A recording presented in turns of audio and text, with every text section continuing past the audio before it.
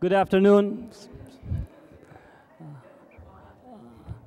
I, I got the instruction to begin this session on time so we could finish on time, and I'm very stickler for time. So we have our last panel for, uh, for the day.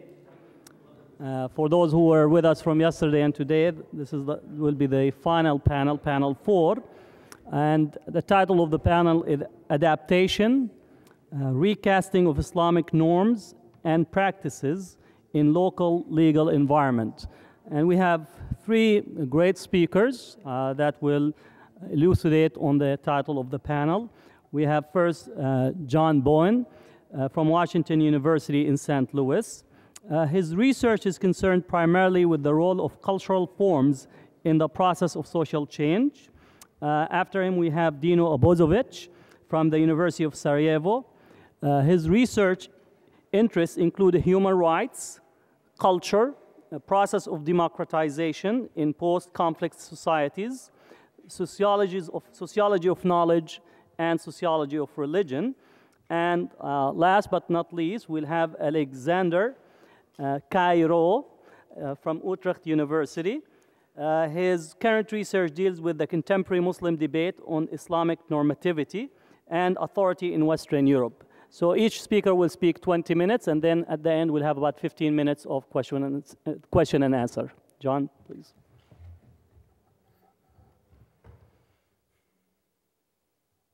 I'm speaking from over here even though I don't have a PowerPoint just because we just had lunch. I can't stand the idea of sitting around, sitting down. From, you have to sit down, however.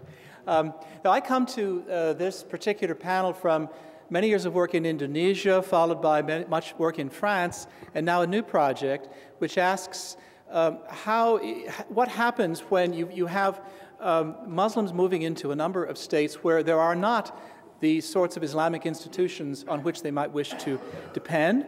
You have very different uh, local uh, legal cultures. And the Muslims moving in bring with them all sorts of very diverse ideas and practices. It's not, it's not Islam, but very different sorts of histories. So, in, in each of several countries, what sorts of demands arise from Muslims? How are these dealt with? And what kinds of justifications are given for, uh, for new practices? Uh, i am looking at this, it's a broader project, uh, starting by looking at France, England, and the United States. And uh, there's a longer paper where I highlight some of the key uh, contrasts. Uh, on the one hand, the, uh, the strong effect of public order thinking in France, um, pushing people, Muslims and jurists, to think about ways that civil law institutions can be seen as already sufficient. in the United States, uh, a very narrow set of demands, um, focusing on the enforceability of contracts uh, that, that Asifa already, already described. And then finally, in the UK, a different history which has encouraged the uh, emergence of community specific institutions because of features about immigration, because of the way in which the UK has, has pushed money through uh, community organizations. And in the 1980s, this saw the emergence of, of Sharia uh, councils. Um, I've started working today, and I'm only going to talk uh, uh, about England and only about a, a, very little part of it. I've started work with, with one uh, in Leyton, east of London, which uh, once a month meets with other Muslims uh, in a room next to the large Regent's Park Mosque in, in central London. And there they review case files, which are uh, almost entirely requests for divorce coming from, from women. These scholars come from Bangladesh, Pakistan, and Palestine, and they also draw on colleagues who are from Somalia, Sudan, and elsewhere. Uh, among themselves, they de deliberate in English, Arabic, and sometimes in Urdu, depending on who is uh, at the table. Each of these cases presents its own problems, but most involve transnational journeys. And just to give you a sense, this is not just an England matter. At the February 2008 monthly meeting, the Council considered seven cases, all wives' petitions for divorce. The women had been born in Pakistan, Somalia, and Mauritius. One had married in Abu Dhabi, another in Yemen, and the husbands were living in Italy, Pakistan, Mauritius, and in two cases, places unknown. In all cases, the council either dissolved the marriage or asked for further information to determine the husband's whereabouts. Well, a number of interesting issues come up with respect to the terms of trade, what I'm calling the terms of trade between these councils and uh, the civil courts. I'm not going to talk about those. The panel uh, uh, emphasis is really on reconsiderations of, of, of, Sharia, but I do have a piece in the uh, uh, the March April issue of the Boston Review, which is online, where I go through more of the back and forth between the civil courts and the, um, and the Sharia Council. So I'm going to focus on deliberations among uh, ulama, they don't call themselves qadi, uh, these scholars about uh, how to think about Islam in particular cases. So, one of the questions is do they manage to transplant a set of practices and procedures from elsewhere into the English context? Would be divorce uh, norms and practices traveling? Or do they have to sometimes uh, create a new set of norms and fit them to English conditions? Uh, both are obviously true, but it's sort of two competing sets of working hypotheses.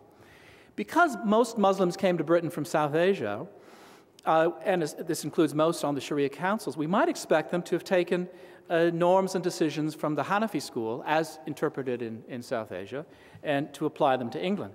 But two factors complicate this possible scenario. First, not all the South Asian scholars see the Islamic world in uh, Hanafi terms. In fact, the leading scholar on the Leyton Council, uh, Hassan, he's from, uh, he's from South Asia, but he considers himself of the Ahlul Hadith school. That is, he emphasizes the Hadith uh, over uh, any particular school of fiqh, including Hanafi.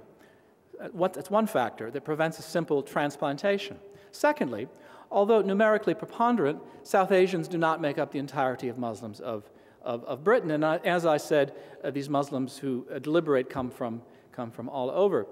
But they do draw on their own repertoires of norms, traditions, and concerns about the situation in England. Thus, and here's the critical part when these, these ulama deliberate, they reason in a dialectical way between on the one hand, what they have brought to England, and on the other hand, what they encounter in their meetings with English Muslim families. Their provisional syntheses take the form of pronouncement on Islamic law for England in particular cases. So I want to give a case in which one scholar, happens to be Suhaib Hassan, can draw on a rather straightforward repertoire of Islamic rules to try and shape the behavior of Muslims living in England.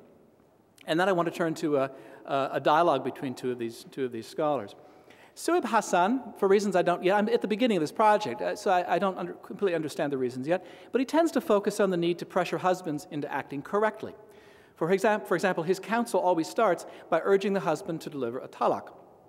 Even if the wife initiated the action, they'll say, well, fine, but if you'll just give a talak, it'll be all over which benefits her. To do, the, uh, to do this, the husband must fill out, sign, and have witnessed a talak nama on which he agrees to pay the mahar in full, along with, uh, with a muta'ah, a small uh, payment, sometimes called a divorce remedy. In the, in, in, that's the term used here. This, now I'm quoting from, from Suhaib Hassan. But most of the time, we end up dissolving the marriage because of his pride.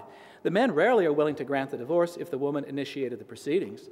If he initiates, we send him a talaknama. We issue it to make sure the wife gets her mahar back. All of it if the marriage was consummated, and half of it, half if it was not. So it gives us some leverage over the husband. The husband wants the talaknama because he may need a paper to prove he was divorced. This is critical, of course. Now, the scholars can flexibly interpret various terms of this set of claims I just read to put pressure on men to behave in accord with English expectations. Is the interesting part. So let me read you uh, Hassan's explanation of a, of a case. In a case, I'm quoting him, in a case we decided recently, the couple had married in Karachi. He had been living in England and went back there to get a wife. His parents were pressuring him to marry this girl. They were upset he was dating girls, and Muslim parents will get upset and find a wife. But he did not want her. When they came to us, he said they had not consummated the marriage, and so she was due only one half the mahar. But she said they had consummated it.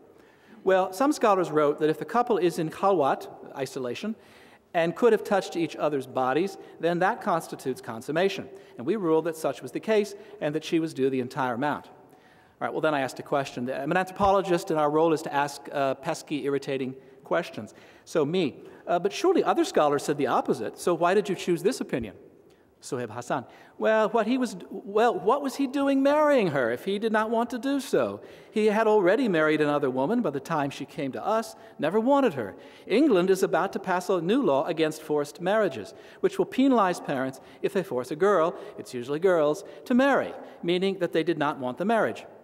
Because in those cases the marriage rarely works out. It must be in the heart to work. It must be, as they say here, a love marriage. All right, so by interpreting rules for how to determine the consummation of a marriage in the particular way he did, the council, in this case Suhaib, is able to, first of all, maximally award mahar to wives, Second, structure the incentives so as to add a bit, one more reason not to engage in this kind of please the parents marriage described here. And third, to anticipate the direction of English law, which, which is in his advantage in his negotiations for more uh, judicial room. Of particular interest, and consistent with many such other instances, is that Hassan justifies his selection of this view of consummation, not in terms of Islamic first principles, allegiance to a particular legal school, or a particular methodology of fiqh, but rather in terms of his own ethical view of the behavior of the young husband. What was he doing marrying her if he did not want to do so? This comment has nothing to do with judging the likelihood of consummation or choosing among alternative scholarly opinions, although that's how he publicly justified it, but rather imputes improper motives to the husband and indirectly to his parents, and judges it appropriate to punish him by granting all the mahar to the wife. All right, now, second example, and this reflects the, the fact that the scholars don't always agree. And one of my tasks is going to be to sort of unpack what they're bringing to the table, each of, of the six or eight who sit down together. Another member of the council, the Palestinian Haytham al Haddad, generally looks to safeguard the interests of the husband, particularly with regard to visit, the right to visit the children after a divorce. Indeed, most, most of these scholars disapprove of the way the civil courts tend to automatically award custody to the mother. Both Suhaib and Haitham took active roles in the deliberation held in the end of May 2008 concerning a couple now living in separate countries, she in London, where she was born, and he in Pakistan, his country of birth. They had married in Pakistan and had been separated since 2001. She's going ahead with a civil divorce in England. Indeed, this council requires that there be a civil divorce proceeding initiated before they will consider the, the case formally. The issue before the council was whether to give her a religious divorce or tell her to go get a divorce in Pakistan, where they were married. Several judges assume, perhaps correctly, that if they dissolve her marriage, she would go to the English civil courts to obtain custody of her children, who are now aged seven and nine. And incidentally, this is what women uh, almost always do. They, they use the civil courts for those issues. Hassan, uh, uh, and, and, Hith, and uh, Haytham take different sides, so I'm going to quote a bit of their exchange. Suhaib, it has been seven years. Give her a divorce. Haytham, let her go to Pakistan for the divorce. It's not a big issue. Now, uh, there's an Egyptian lawyer who's lived in London for a long time, and he's sitting in as a guest. He's often there. It is a big issue. They'll favor the man because they'll say, she escaped the marriage. Suhaib. But women do not want to move there, nor will children who grew up in London wish to move to Pakistan. Haytham. That's not the only consideration. Suhaib. Usually, if a woman goes to Pakistan to marry, the assumption is they both will come to the UK. In this case, he wanted to come here but couldn't get a visa. Haytham. Let her apply to the Pakistan courts. She's trying to use us to get the children. The Egyptian lawyer from the sidelines now. No, she's not using you. She feels more comfortable here. I'm trying to be Egyptian when it's. You know. the English judges won't let the kids move to Pakistan because she will convince the judge that the father would never let the kids return. How'd I do? Suhaib. She must assure us that she will not keep the children from traveling to Pakistan if they wish to. The issue on one issue, wish on which they, they agree. We have to help her because the separation has been so long. Haytham, no, she was happy once, then she left and abducted the children, if I may exaggerate a little. They finished up by agreeing that Haytham would interview the wife in London, but he insists on interviewing both of them, and they joke that they should send Haytham to Pakistan because he's so annoying and persistent that he would be able to convince the husband to give a talaq. That's the joking part. Okay. Hassan and Haytham agree that the issue in England will be to assure that the husband in Pakistan won't lose his ties to his children. But they're working with two very different narratives about the marriage. For Suhaib Hassan, it's evident that the wife went to Pakistan to marry and return with her husband and eventually children to England. Because that's what such couples usually do, as he said. The husband created the problem by not following her, and now the council should set her free so she can get on with her life in England with her children. For Haytham al Haddad, the normal story would have been that the happy couple settles in Pakistan. In this case, however, the wife left with the children and now is trying to strategically use the English courts. It's the council's role to assure that justice is done for the children's father. Well, it may be the case that uh, Hassan's tendencies come from the important role played by judicial khula in Pakistan, where he developed his sense of Islamic law, and which remains in his mind as a major sphere of, of reference. Uh, and there have been a series of key judicial decisions through the 1980s in Pakistan, where judges ruled that wives had the right to ask for dissolution of their marriage as a khula when the marriage uh, seemed to be unable to, to continue. This case shows the double transnational character of the reasoning and deliberative processes engaged in at council meetings. First, the marriages and divorces and, and the actual potential remarriages, themselves take place across state boundaries and thus bring into play multiple legal systems and multiple probabilities of accepting a council decree. Indeed, Suhaib Hassan worries a lot about whether authorities in Pakistan will accept a piece of paper that comes out of the council as attesting to the woman's uh, proper uh, divorce from her husband. There's a second transnational character, which is the scholars themselves have come to England from other places, and to a greater or lesser degree, their pre England years shape what they do in England today. Now, despite this attention to English context, the Council emphasizes that the sacred law, as they, they, they talk about it, does not itself change. They themselves select from among alternative interpretations to arrive at a workable solution. They also, but they also oppose those who would innovate in matters settled by revelation. In doing, they seek to retain their credibility with Muslims in England and Muslims in Pakistan and other places too, perhaps, who attack this and other councils as illegitimate and is likely to water down Sharia. And Suhaib receives lawyer, uh, uh, letters from lawyers in Pakistan who say, you know, who the heck do you think you are uh, uh coming up with these decisions?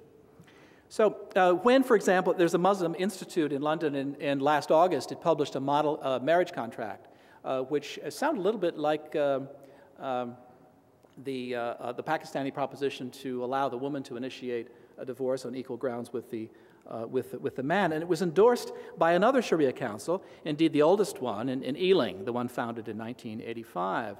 Um, but the Leyton Council denounces the methods by which this marriage council arrived, uh, uh, uh, this, uh, sorry, Muslim Institute produced this contract as, as being sort of taking from here and there as it pleases you, rather than having a consistent application uh, of the law. And so this is their grounds for publicly opposing it.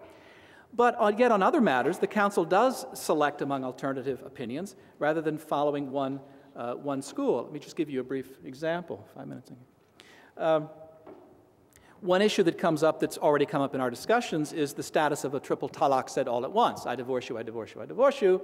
Um, the, uh, the, the, the question comes up for the council, um, and according to Suhaib Hassan again, the, uh, the, the, um, the four madahib have ruled and, uh, that the, the three talaks said at once count as, as all three, so the marriage is, uh, is over at that point. Uh, but Suhaib said, but we start from the interest of the parties involved. And then, because Ibn Taymiyyah supports our view, so we have a prestigious scholar to cite, we say that the, those three talaqs are only one. And there was no disagreement among us on that issue. And he goes on to give the case where this, where this came up, why they felt it socially important to, uh, to come up with this particular, uh, particular ruling. All right, in this case, he's starting from a, a, sense of what would be socially in the interests of Muslims. It's consequentialist reasoning. He talks about maslahat, and then looks for a justification, which he finds in Ibn Taymiyyah. But on other topics, uh, the same scholars uh, uh, find solutions in Hanafi jurisprudence. Um, for example, on the, uh, the, the, the Hanafi based notion that uh, even without the wife's guardian, a marriage can be considered Islamically correct, and hence a civil marriage in England can, can be considered Islamically correct. Here's how Suhaib justifies this. There's an, in, a, in a civil marriage, there's an ijab kabul by both parties, and even if the amount of the mahar is not set, it then automatically becomes the usual one for the economic status of the parents. This is also a Hanafi provision. The only problem that arises is that the consent of the guardians is not required at a civil marriage. The Al Hadith, remember Suhaib he considers himself Al Hadith, does require the explicit consent of the guardian. However, the Hanafi school says that if the couple elopes, the wife's guardian can invalidate the marriage only if the woman is marrying someone of lower status or the dower is too low. If he doesn't do so within a reasonable time, then the marriage is valid. Under that understanding, at a civil marriage, because the parents are there, the civil marriage is Islamically valid. We decided that we would follow the Hanafi school in this matter and recognize the civil marriage.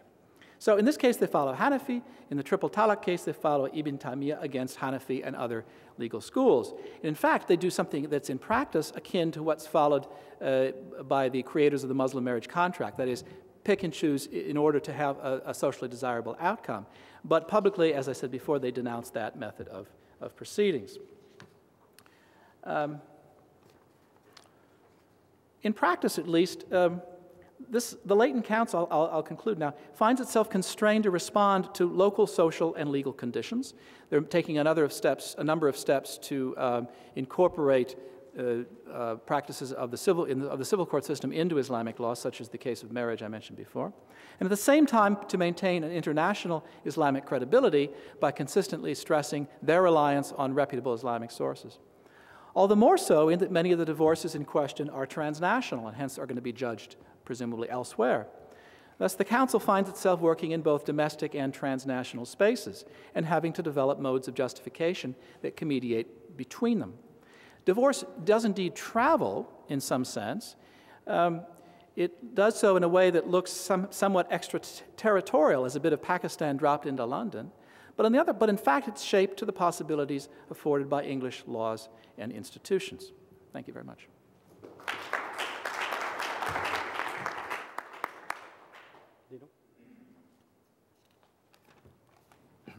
Thank you. I would like to thank Professor Olivier Roy and uh, Valerie Amiraux, including the people from the center, for having me here. And it's my pleasure to try to address you with a couple of uh, recent uh, thoughts about Bosnian Muslims.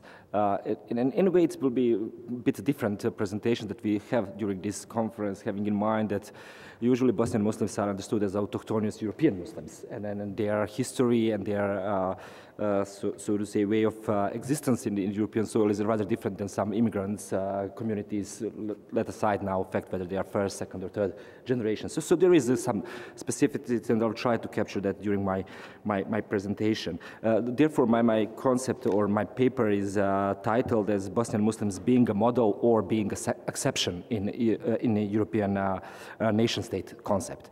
and I will try to, to provide you with some, some of the thoughts about that. However, I will start, start uh, because it is necessary with uh, Marx Juergensmeyer observations that the fading of nation state and disillusionment with all forms of secular nationalism have produced both the opportunity for new nationalisms and uh, need for them. The opportunity have arisen because the old order seems to be so weak and the need for national identity persists because no single alternative form of social cohesion and affiliation has yet appeared to dominate public life in the way nation state did in the 20th century.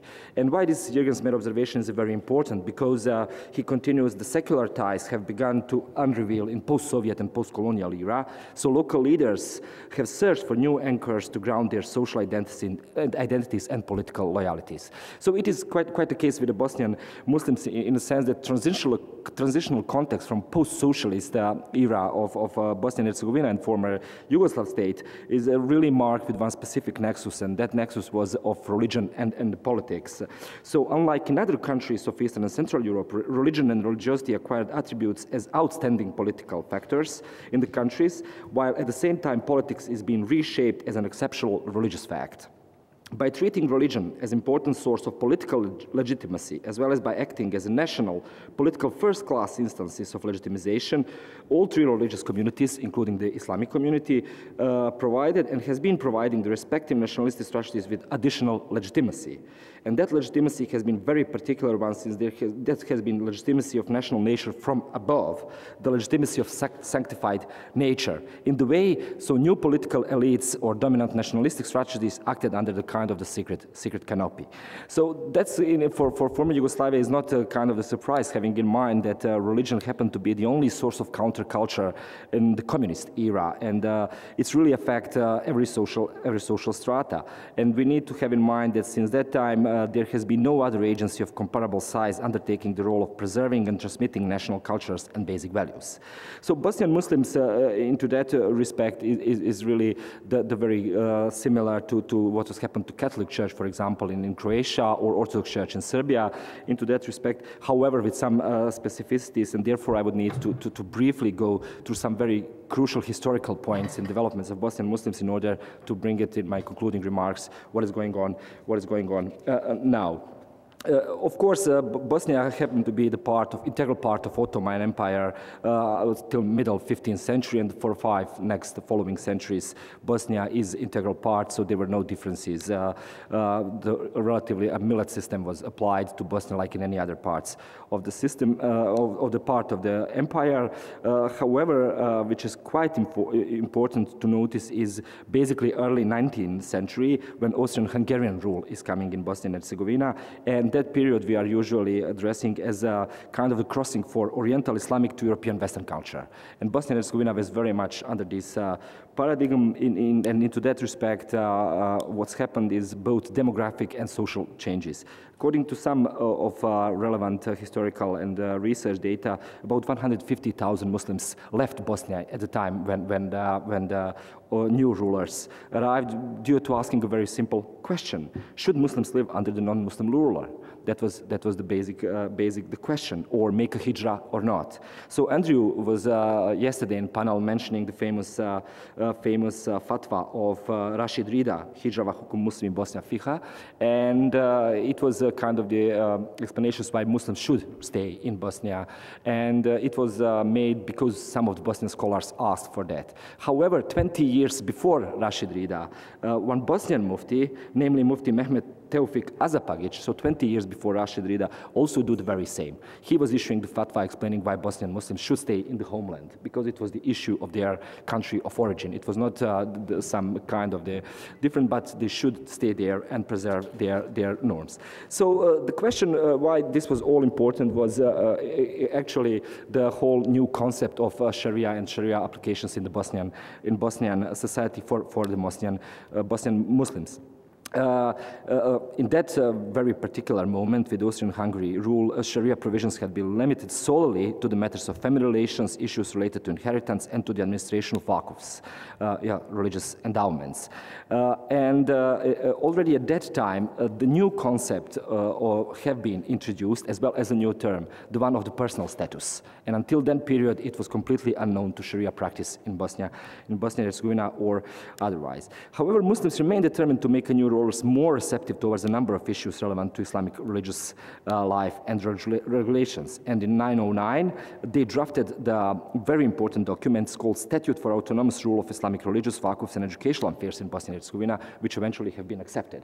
So by that period, already Islamic community become, in a way, autonomous out of secular or out of uh, foreign non-Muslim ruler for matters of uh, uh, wakufs, about religious education and about issues of rule of uh, Islamic community, community management. Nothing much changed in the period of kingdom of Serb, Croats and Slovenes in Yugoslavia, but 1946 and the uh, end of Second World War will be very important, again having in mind that communists abolished Sharia courts and Sharia rules. So from 1996, Sharia is not anymore implemented into Bosnian context.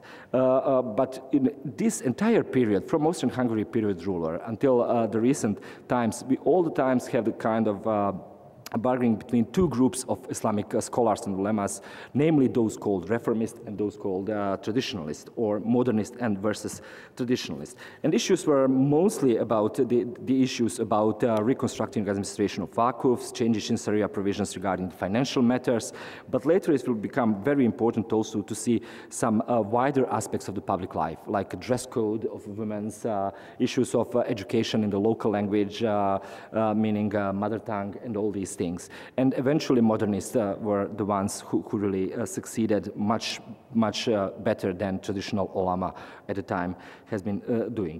In the communist period, uh, religion was uh, naturally at least in the first part of that, in first two decades, understood in, in very, very problematic terms, in terms that uh, communists understood religion as being very awkward, as something that is uh, very uh, completely negatively perceived, traditionalistic, anachronistic, retrogressive, and so on and so forth. And basically, we are talking about forced atheization of entire society, including, including the Muslims.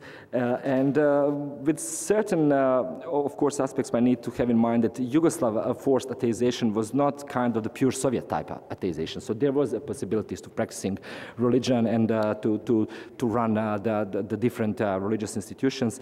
And to, to surprise of some, during the former Yugoslavia, meaning Tito Yugoslavia, there have been more mosques built in Bosnia and Herzegovina than during the Ottoman Empire. Of course, mosques have been not built by uh, communist or state money, but uh, believers were building the mosques by their endowments, but still there, there was a flourishing of different, uh, different activities going on.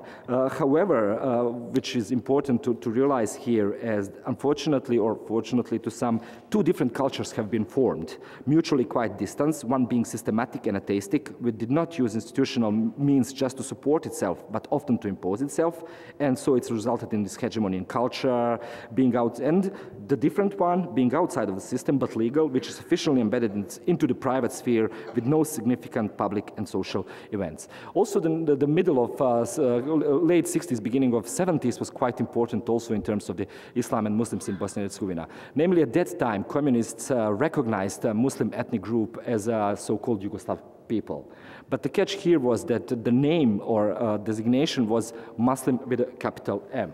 What does it mean? It, it basically means that uh, in Bosnian language, Serbian or Croatian, Muslim or Musliman with the capital M is basically members of ethnic group, which is in a way kind of a secular notion why Muslim, written with a smaller, Musliman with a, a smaller case, is a practicing, practicing believer of, inter, inter, uh, of uh, Islamic community. So paradoxically, at that time, uh, like Hussein Efendi Jozo, one of the great uh, scholars of Bosnian Muslims, noticed we have a paradox. We have a Muslim who are not a Muslim. So it has been possible during the communist period of regime because of all these things. In 1993, in the middle of the war, however, Bosniak Assembly in Sarajevo decided the terms uh, Muslim with the capital M is not more, it's no longer in the use. So today we have the Bosniaks as a national name, and the term Muslim is used solely in the domination of confessional designation.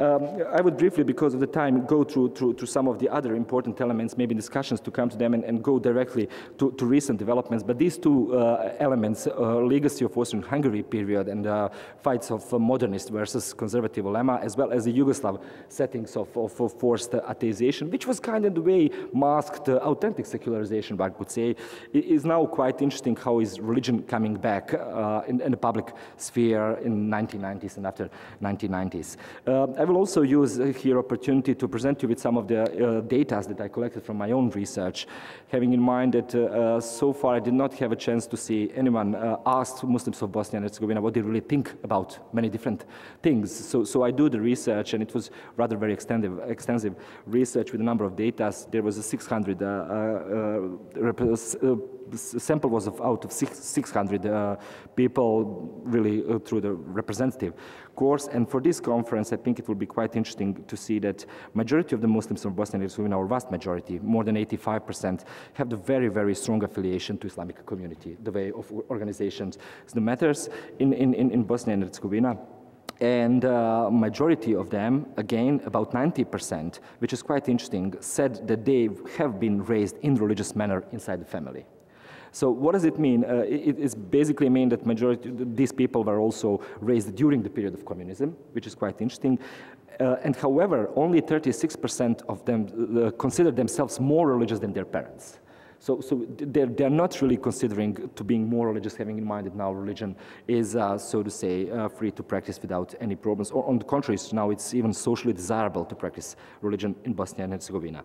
Uh, but uh, uh, further on, I would say that this is also important to see how things are going on when it's come to, to, to, the issue of the community. Bosnian Muslims have kind of the average trust in Islamic community, so it's very much depend on, on the issues to the issues. When it's come to the issues of public morality or when it's come to the issue to education, they would like to see Islamic community doing more in terms of private life and in terms of private sector. But when it's come to issues of the social affairs or problematics in terms of uh, uh, uh, economic status of Bosnian Muslims and so on, they, they said that they are not quite uh, happy with the, with the Bosnian clergy, and which is quite important, big, big majority do not uh, look uh, on the religious community as uh, their role to be strengthened in the field of politics and the field of media.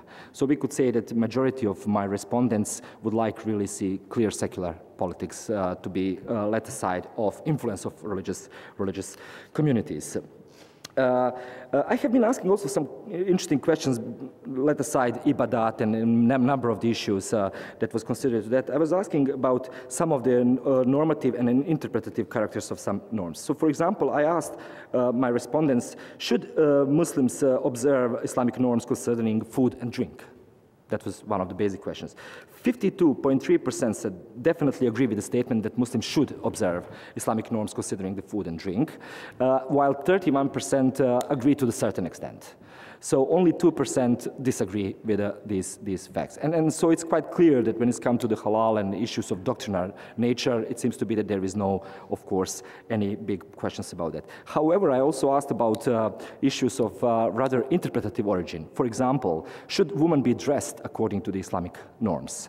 And there, here, for, to surprise somebody, majority thinks that should, there should not be harsh uh, elements in terms of dressing of the woman. So majority of my almost 60% of them, think that they should not necessarily obey to this interpretative tradition. What does it mean, Islamic dress code, in particular when it's come to the woman? Finally, I also asked the question in terms of uh, Bosnia and Herzegovina multi-religious context, having in mind that there are Christians, uh, both Catholic and Orthodox, uh, and during the more more or less entire period, should uh, Muslim, should the food forbidden to Muslims should be uh, offered in the market. And almost 90% of my respondents have no problem at all to have this kind of uh, market that will regulate without any problem, that these things that should be forbidden to Muslims can be offered in Bosnia and Herzegovina. So it, it's really uh, become uh, quite interesting that this is just, of course, some, some of the snapshots, uh, but I would say that um, if there is a possible comparison, I would say that Bosnian Muslims are kind of the average of the European similar similar research when it's come to the religiosity, importance of religion in the daily life, and so on. But uh, role of clergy or organized religion in Bosnia and Herzegovina is not necessarily always in the line with its members' uh, yeah, I know, uh, with its members' uh, uh, understanding. So, so often uh, Bosnian clergy, in particular the top-ranking officials, are getting into the field requesting some redefinition of the public space, redefinition of state and faith relations, and so on and so forth. French scholar Xavier Bougarel, in his analysis of Islam in Bosnia and Herzegovina, basically identified three different types of Islam in Bosnia we could consider as, as important. Islam defined as individual faith, Islam as a common culture and Islam as discriminatory political ideology. Uh, I would say that first two categories, Islam as individual faith and Islam as a cultural uh, matter is much, much more present than this uh, discriminatory political ideology, which is still getting kind of, uh, kind of uh, there through different Wahhabi and Salafi movements sponsored by Saudi Arabia and some other governments. But in order to explain why Islam as a private faith and Islam as a culture is more present in Bosnia and Herzegovina, I will use just two basic examples and that will be my concludatory remarks First example is um, that um, uh, Reis ul Ulema, or Grand Mufti of Bosnia and Herzegovina. And it's also kind of the interesting. Reis ul Ulema is a title that has only remained with the Bosnian Muslims. Not other Muslims in the world use Reis ul Ulema title. And because of the clarity, I will keep talking as a Grand Mufti of Bosnia and Herzegovina, which is common English translation. Grand Mufti, having been asked about uh, Yusuf al-Qaradawi fatwa issued about uh, ritual slaughter of the animals. And point here is that some Bosnians were asking uh, Yusuf al-Qaradawi to talk about whether it's uh, uh, okay to order uh, the meat from Australia and some overseas countries for, for a Bayram. And, and for this, Yusuf Qaradawi gave the positive opinion about that. However, Grand Mufti of Bosnia and Herzegovina, Mustafa Efendi Ceric, answered, I'm quoting, as long as there is a fatwa council of Bosnia and Herzegovina, and there is official part of Islamic community structure in Bosnia and Herzegovina. No one but that institution can issue valid fatwas for Muslims in Bosnia and Herzegovina. According to Ceric, Grand Mufti of Bosnia and Herzegovina, it is also due to Qiyas, huh, analogy, and since there is no more caliphs, the expert territorial jurisprudence should be applied.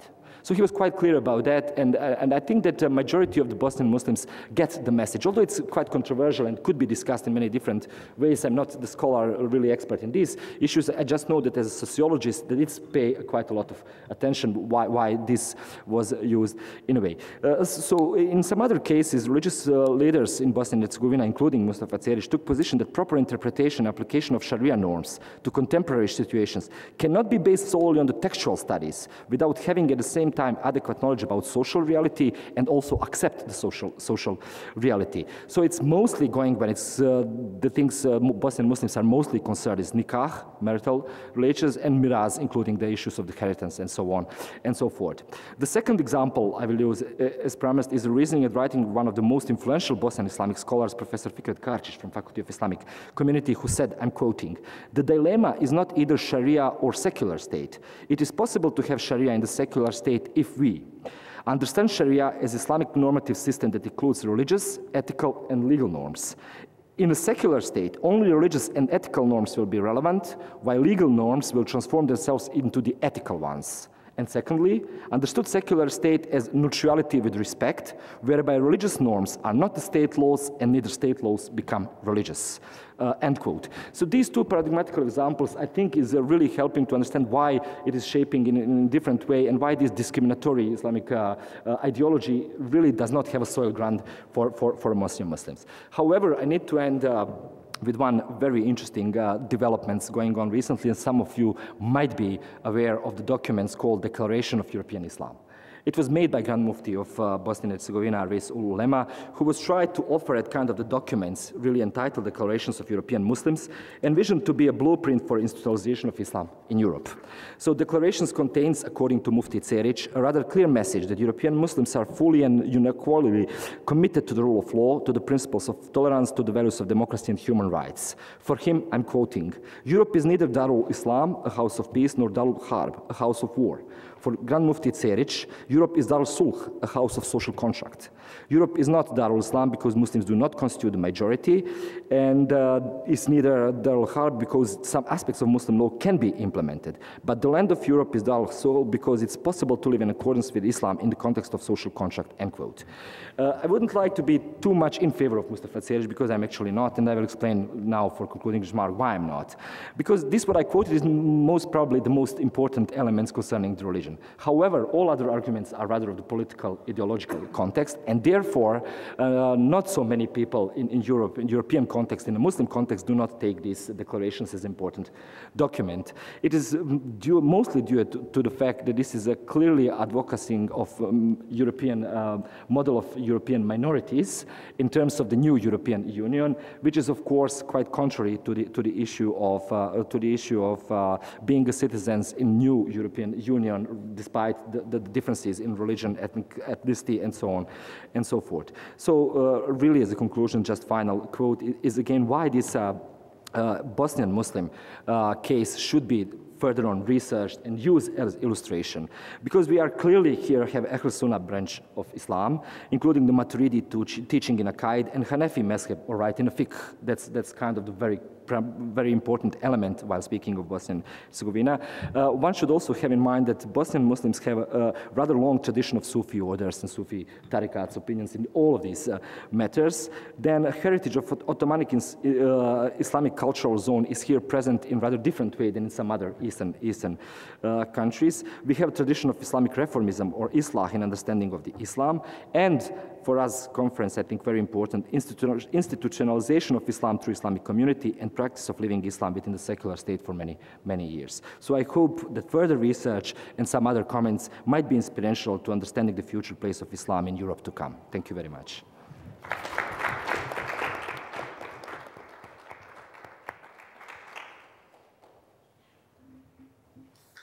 Yeah, uh, 30 minutes? 30 minutes? 20. Okay. Uh, okay, right. Um, thank you very much for, for the invitation to be here. Um, my paper had a, had a title. It was um, Minority Islam Between the Global Islamic Revival and the Problematics of, the Europe of European Integration, uh, a case study of the European Council for Fatwa and Research. So as the subtitle, as the subtitle suggests, uh, my paper is really an attempt to understand this institution, the European Council for Fatwa and Research, which is an institution committed to the integration of Muslims in Europe through the production and dissemination of contextualized religious advice or fatwas.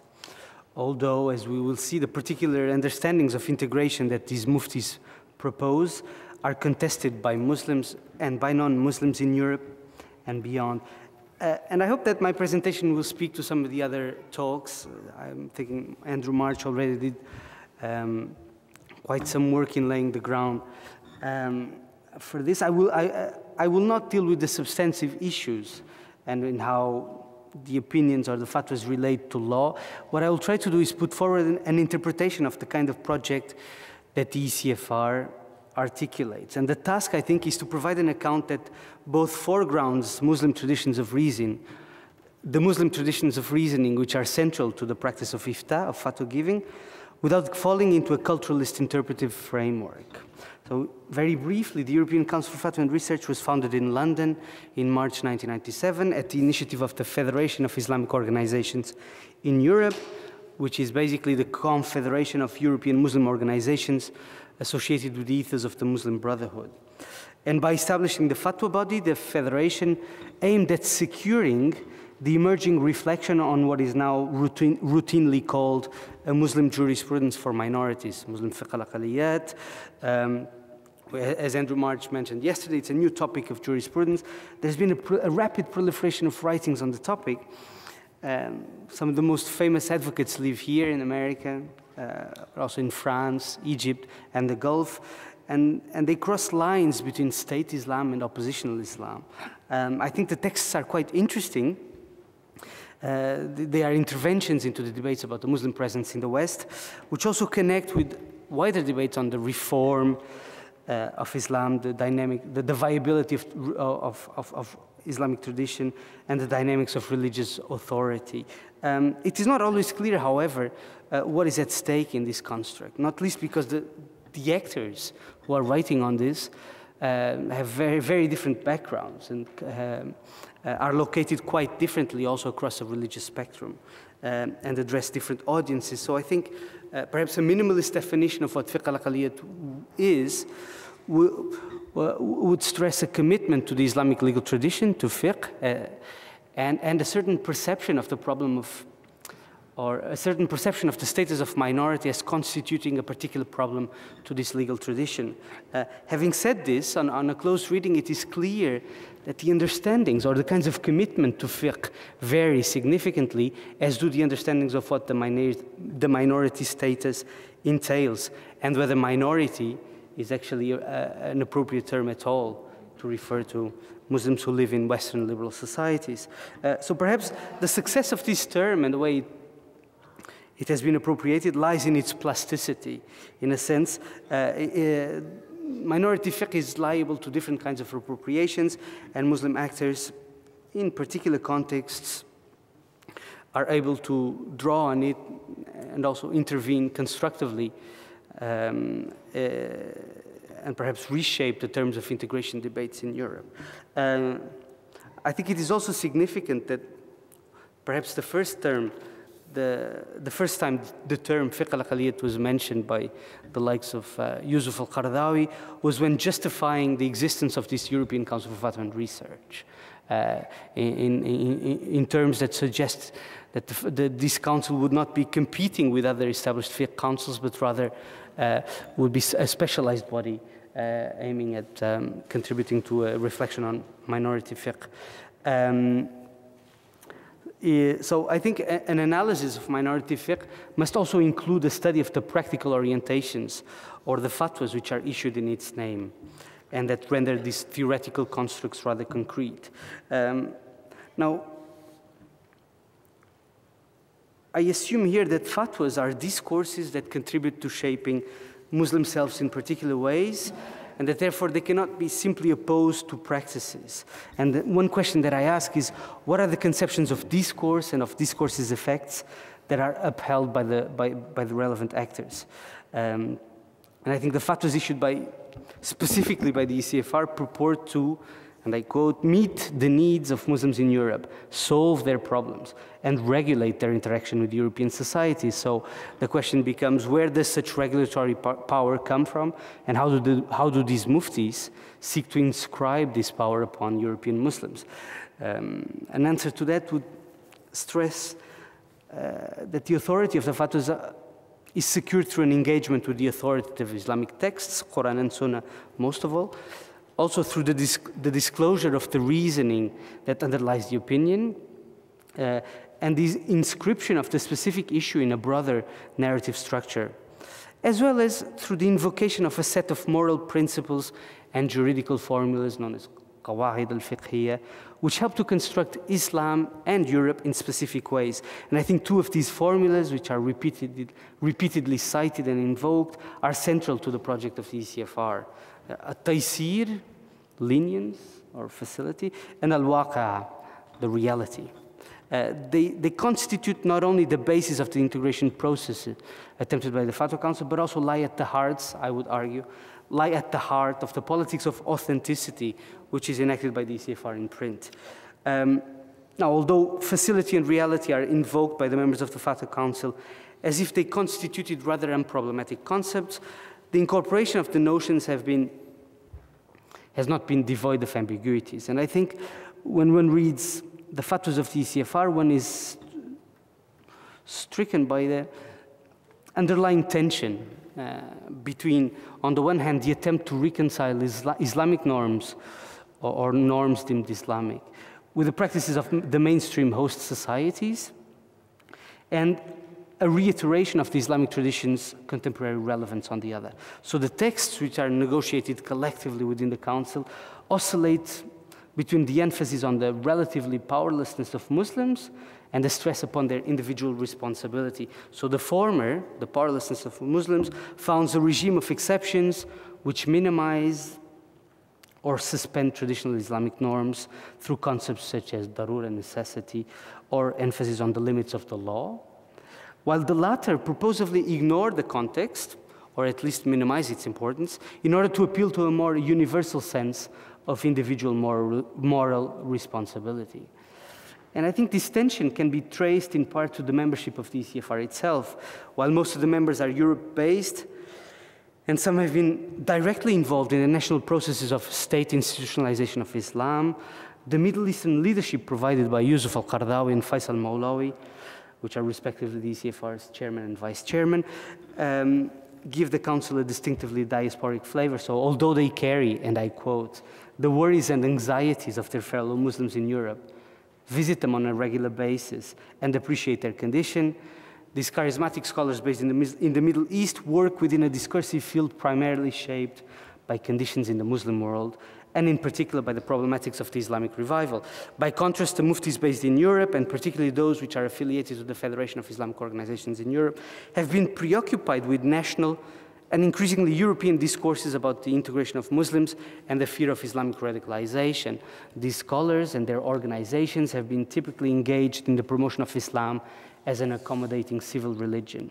So integration on the one hand and the Islamic revival provide two rationalities or two conceptual arenas and a field of tension which are crucial for situating the work of the ECFR. So what I'll try to do here, uh, and I think I have still some time, is, is, is to propose that we should understand what ECFR does um, through its fatwas as as, as, as, as a mode of interpolation, uh, interpolating European Muslim subjects through the creation of a particular public. And I'm drawing here mostly on Michael Warner's articulation of the concept of the public to argue that the ECFR's construction of a minority fiqh should be seen as the result of this conjunction between the, a particular tension that I just sketched above briefly between you know, the cultivation of a pious subjectivity in tune with the temporalities of the global Islamic revival and the perceived necessity to integrate Muslims into a more local context. So this tension in conjunction with a specific relation to public discourse. Uh, and I think what, what, that allows us to see, perhaps, is that um, um, the media wars, which are, the, the, fatwa wars, which are recurrently played in the media, um, um and which, which have led Muslim scholars to try and precisely to institutionalize fatwa bodies. And what Khaled Masood was saying yesterday to join between ijtihad and ijma through collective fatwa bodies. In an attempt to reestablish an always elusive consensus has perhaps less to do with the divisions amongst the ulama, real though they are, I'm not trying to deny this, or even um, their varying hermeneutical strategies, and, but has perhaps more to do with the properties of public discourse and the open-ended nature of discourse's circulation within publics. Uh, so to go back to Warner, I think one could say that the members of the ECFR, they may see themselves as addressing a European Muslim community and guiding it further into the path of the Islamic revival, but perhaps it's more useful to see them as creating a distinctive public or counter-public, I'll go back to that, of European Muslims instead or despite or rather because of internal differentiations in terms of language, ethnicity, class, political orientation, and levels of religious commitment. So a public, as Michael Warner has pointed out, is an imagined relationship among strangers characterized by the reflexive circulation of discourse. It requires mere attention, and its rhetorical imagination is a performative act. In other words, it creates a public merely by virtue of addressing it as such. Right. So the ECFR's use of fatwas then um, is a way of addressing indefinite strangers as well as real petitioners. Um, and it interpolates Muslim subjects in Europe in certain ways. Hmm. Um, so there is a sense of practical possibility which is derived from the actual distribution of petitioners, so from the fact that people ask questions to the ECFR and send them more questions that they, that they can actually answer, and therefore that naturalize the disciplinary project of the ECFR, but at the same time, the larger audience of indefinite readers um, underpins um, the hope of transformation, which, according to Warner, is constitutive of any public. So this is, of course, a distinctive modern form of power, which partakes in, in processes of subject formation. And it relies on a variety of media forms. So the statements of the ECFR are issued mostly from Dublin, then they are relayed by Islam Online, Al Urubiyya, which used to be a monthly publication of the Federation um, from France, but also they are discussed in publications such as Sharq al Awsat or through live satellite TV shows in Al Jazeera, Al Sharia wal Hayat in particular, um, and then eventually collected into publications in, into Egyptian presses. Um, so it appears as a distinctly transnational space. Um, and I think it's, it also goes beyond, to some extent, um, uh, the global space that characterized Muslim fiqh throughout the ages, not least in its acknowledgement of the limits of fiqh discourse, um, but also in its willingness to open up the circulation of discourse to further elaboration, even contestation from voices beyond uh, those of the ulama. So there's been, um, Olivier Roy is not here. Oh, he's there, okay. Uh, he's, been, he, has been one of the participants at the sessions of the ECFR uh, who's been uh, quite open to social scientists also and has been, in, to, I think to some extent, um, engaging in productive ways with social scientific discourse uh, on Islam in Europe. Now, um, I'm not sure how much time I have. Um, five minutes, right? So th there's something, I mean, um, I, I, think I skipped this. Uh, I, I, I, try, of course, to, mo most of you will probably be familiar with the work of Charles Hirschkind. I think his compelling study of uh, the Islamic revival in Egypt has been an inspiration. So I try to engage him and a little bit, uh, engage a little bit with the, the ethical listener that he, he proposes as a paradigmatic figure of the, of the counterpublics in Egypt, of the Islamic counterpublic in Egypt, by suggesting that in this case, perhaps the figure of the Muslim reader, which is suggested by uh, one of the editors of the fatwa collections of the ECFR, uh, is perhaps mo more appropriate. I don't, I don't really have time to discuss that.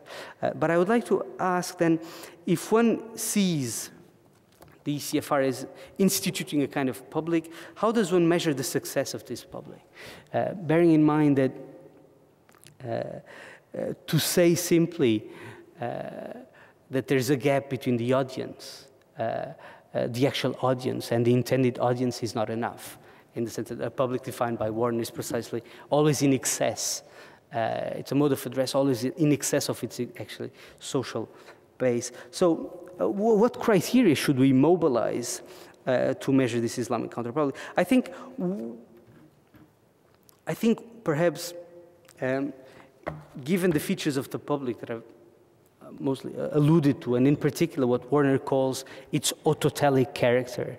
In other words, it, it, the, the, public is a self-organized space where no single agency mo mo can monopolize discourse. I think perhaps there are limited ways in which this kind of public can be disrupted. I will suggest three. Um, uh, if, I have, if, if, as I have been suggesting, the public imagined by the ECFR is characterized by a tension between the impetus of the Islamic revival and the problematics of integration in Europe, then arguably the public will not be significantly disrupted by discourses which place different emphasis on the former or the latter. Rather, the public will only be disrupted by discursive interventions which deny outright the relevance of a public Islamic religiosity, as in the discourse of secular Muslims, for example, or which denies the relevance of the necessity to integrate, as in the discourse of, of certain so called Muslim organizations. So, intermediate critiques, even virulent ones, certainly pose challenges to the religious authority of the ECFR, uh, but but, I think do not, do, do, do, not, do not really disrupt it. And, and, and one example is the fact that people like Tariq Ramadan, for, who have been uh, among the most vocally critics of the ECFR, can be invited uh, to attend the sessions or, or, and even join the council, whereas others, such as Hizb Tahrir or, or Salafi scholars saying that Muslims should actually simply immigrate from Europe, uh, are much more difficult to incorporate into the reflection. Now, a, sec a second, a second possible disruption is, I think, an attempt to, is, is through any attempt to shift uh, the idiom and thus the competences required for public speaking. Uh, I'm thinking perhaps of uh, here of Tariq Ramadan's shift from um, what he calls the spirit of the fatwa to its psychology in his critique of the ECFR. So Tariq Ramadan issued uh, uh, introduced the French, the French translation of the ECFR's fatwas uh, in, a, in, a, in, a, in a quietly critical way by saying the spirit of the fatwa is very interesting. These people are willing to perform ijtihad, come up with new solutions, pragmatic solutions. However, fatwa also has a psychology, and this psychology requires living amongst European, living in Europe and, and being immersed in the context. And this is something that the muftis were either living in the East or at least had been trained and lived long periods of their life in the East are not able to achieve. Now, a, thir a third way in which the public may be disrupted is if it is misrecognized. And I use misrecognition in a particular way, which is say, if the fiction of the public's self-organization is exposed as ideological. And an, ins an instance of this misrecognition or unmasking occurs when European Muslims do not recognize themselves as legitimate addressees.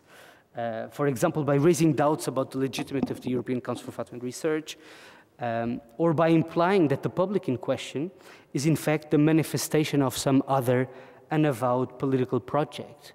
Uh, I'm thinking here when a group of believers outside a Dublin mosque circulate leaflets that suggest that the fatwas of the ECFR actually are carrying the misguided political project of the Muslim Brotherhood.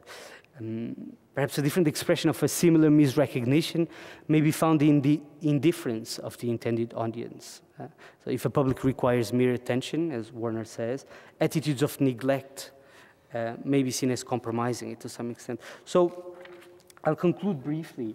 Um, there'll be other things to say perhaps, uh, but to say that what, what I've been trying to describe here is uh, how the ECFR is, is an, a discursive attempt to cultivate a certain kind of European Muslim subject.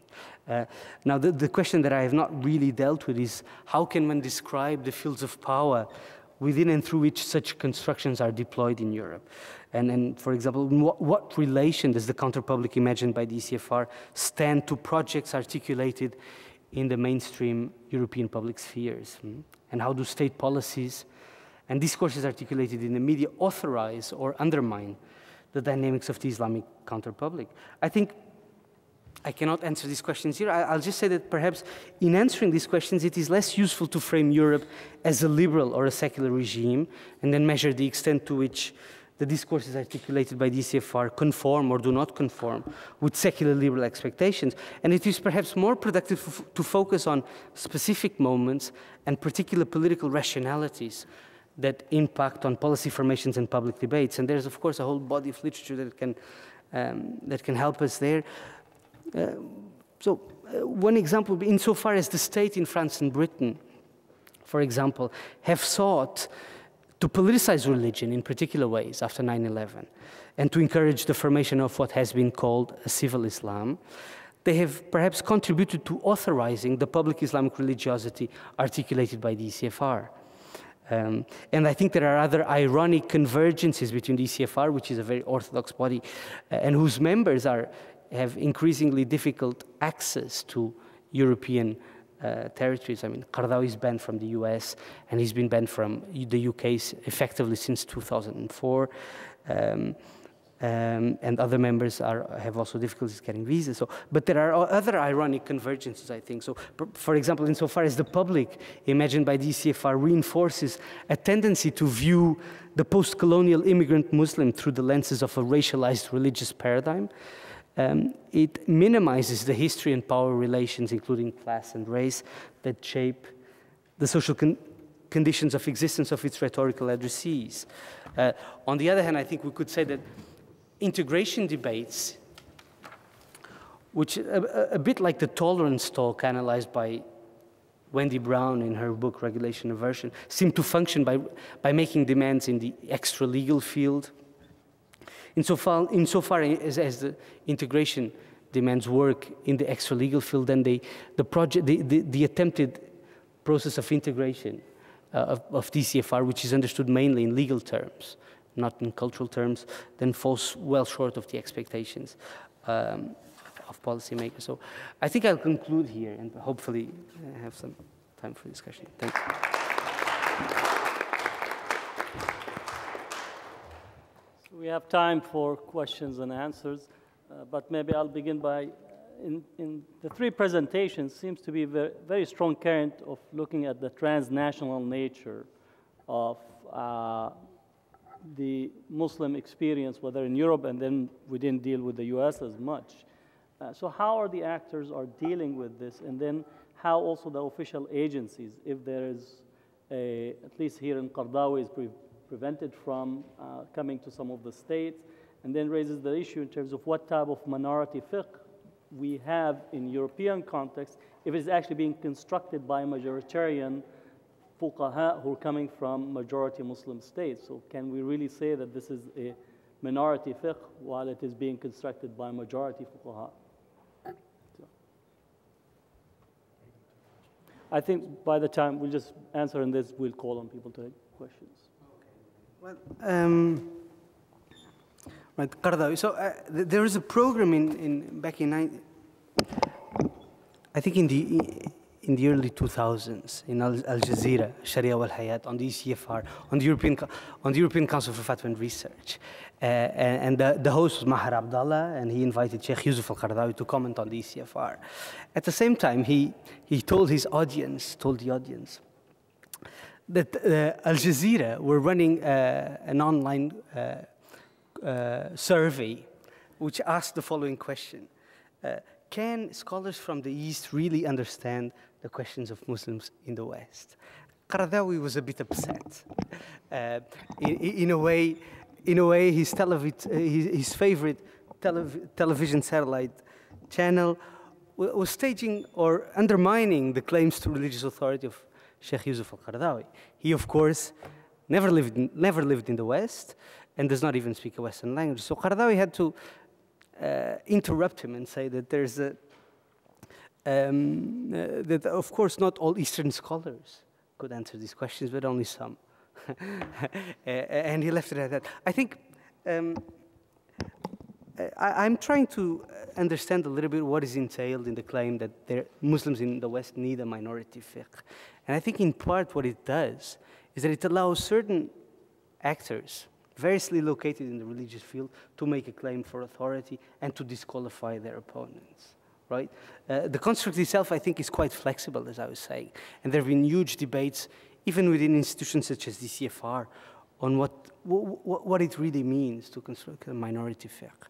And um, uh, there's a kind of irony that the, the advocates of minority fiqh operate in, in, um, in a global setting uh, and attempt to construct symbolic boundaries. So they, uh, um, I think it's also quite at odds with the transnational dynamic. So uh, I, th that's all I have to say. I, I want to uh, commend Alex on an outstanding presentation. I uh, think that your dissertation is going to be a major, major contribution to this field, and I can't wait to see it in print. Uh, I want to follow up a little bit on Hatem's question. uh, you're painting a very interesting picture. So I want to follow up on the question of the politics of the uh, external scholars versus the internal scholars. Uh, so now you, you, you referred to two different, at least two different kinds of rejection of both the political stance of the ECFR and also this idea of both a fiqh and a fiqh of minorities. So one, this rejection from the right, the Salafi or other kinds of, uh, you know, let's say less domesticated Islamist wing, which is still in its own mind committed to some sort of an Islamic legal framework, that fiqh and law is still the framework for addressing questions. Then you have, for lack of a better term, certain kinds of opposition on to the left of the ECFR, you know, obviously uh, mutatis mutandis uh, Ramadan, maybe a brew that we heard yesterday, and so forth. Now, part of the, part of the dimension of this is these are local, uh, you know, domestic people that are born, certainly raised in Europe. And part of the challenge is uh, can people from outside answer dilemmas from people inside? So that was one dimension of the question. But then the question is can these answers, can these questions be answered, whoever is answering them, within a fiqh framework? So is it the case that fiqh al-aqaliyat or fiqh of whatever we're going to call it for Europe is sort of the wedge point between thinking about ethical life and, and particularly political ethics for European minorities and North American minorities within a juridical context. That is, either you go to the right in, in, in a more rejectionist framework, or if you're going to uh, do something like Tariq Ramadan or Oubrou or these other, uh, these other figures, that you're really not doing Islamic law anymore, that you're opening up not just new sources of authority, new methodologies, new terminologies, but really new modes of thinking about Islamic normativity that are not only flexible and not only involving different kinds of concepts, but are really not fiqhi, really not juridical in any sense of the term, and that are somehow both occupying a space between fiqh and theology, but also creating a new space, creating new modes of reasoning that uh, I don't know if it's like Mendelssohn or, or whatever, but is certainly, you know, uh, taking on forms of public uh, ethics, public religiosity that might be familiar from other contexts. So, uh, again, thank you. It's a wonderful research project.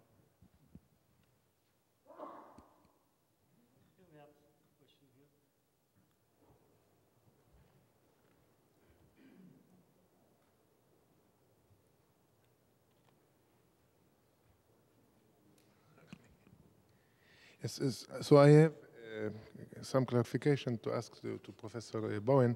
You said that uh, uh, Muslim minority are functioning in three different uh, types in France, in England, and US. And you say that uh, in France they are using public order, in England the specific community institution, and US contract. But I think you wrote an article on the Conseil musulman de France in, in France also Muslim have have have uh, also association have also community institution. So I didn't understand this uh, three uh, model. And uh, a question concerning uh, uh, this is just a precision if you can give about the education and training of these ulama who are dealing with a case that you mentioned. Where they were trained how, how if they belonging to schools or something, if you, if you have knowledge about this. And uh, another question, what, what, they did once they give this paper or sentence, did, did they give uh, to, uh, they, did they want to a public, to a court of the state to be confirmed, certified, or what they did with this paper or uh, and a question, a small question to, to Dino. Uh, the imam, the, the, mufti that you mentioned, uh, also have training in Sharia or, or is belonging to uh, schools, or mm. if you can give. Uh, one, one, remark to Alexander, I think that uh, a Muslim in Europe maybe are not ready uh, uh, to have a, a European scholar to be head of this council of fatwa so I think uh, uh, even Tariq Ramadan has not enough the symbolic capital to be the head. So they must have something, which what, I'm telling, telling now is Orientalist, but this is what maybe uh, uh could be an explanation. So the, the, the uh, sufficient uh, symbolic po power or, or symbolic capital should be from the East. And this is what could explain Orientalist explanation, but it could be an explanation.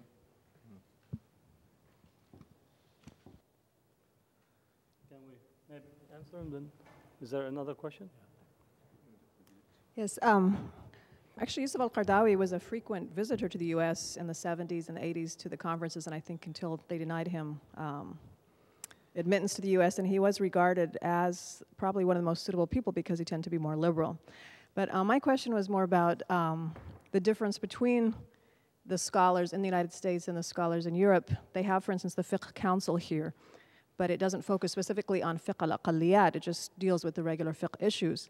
And then a, a recent um, transformation here has been that there has been a um, handing of the leadership or the scholarship to the indigenous scholars, the Hamza Yusufs, the Dr. Omar Farouk Abdullahs, the Sherman Jacksons, who are actually endorsing um, traditional learning. But has there been anything comparative to that, the indi indigenization of scholars in Europe? And if not, why not?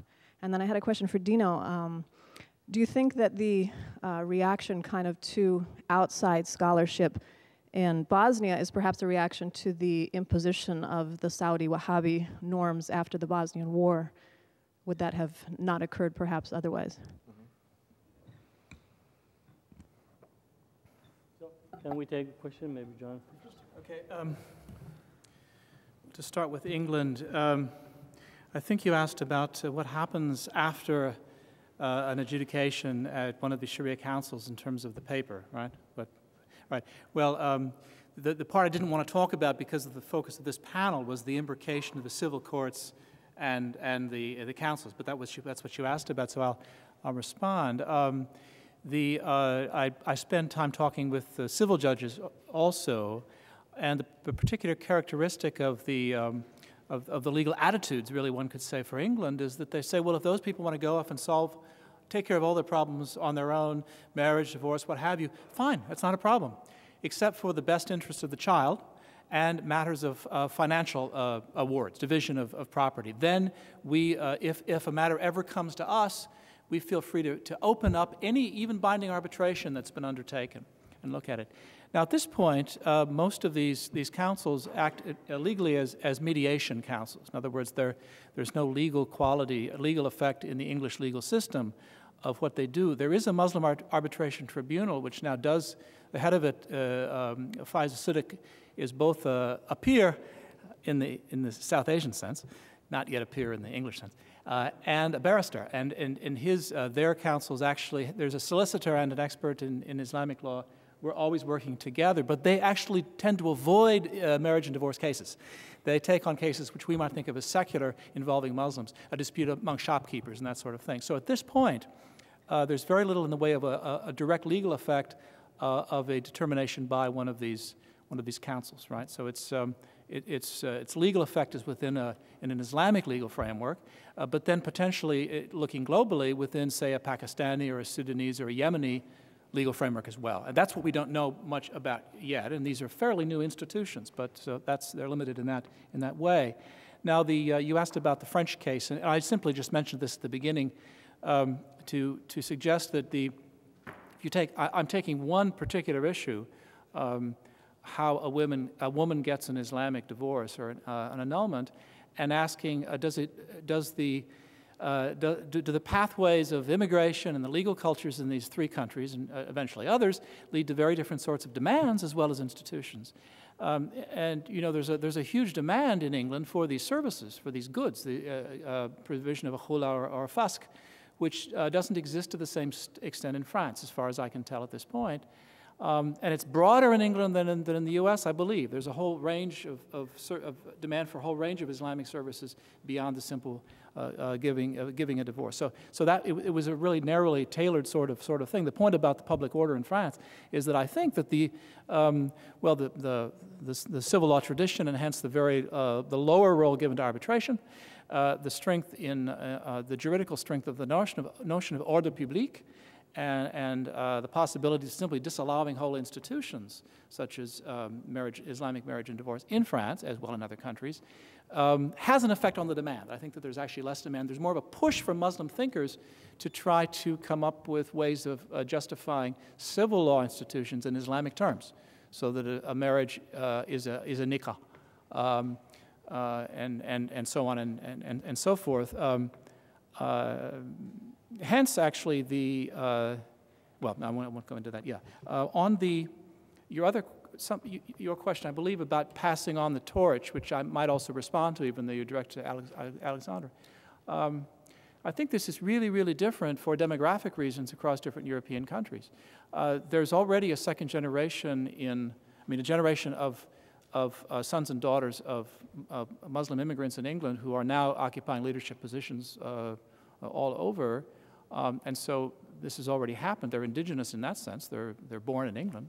I think to a much greater extent for reasons for, of demography than in, uh, than in, than in, than in France. Um, in both cases, though, I think we would say that women occupy uh, a lesser role in those two countries than they do in the US, which is also an interesting question to pursue.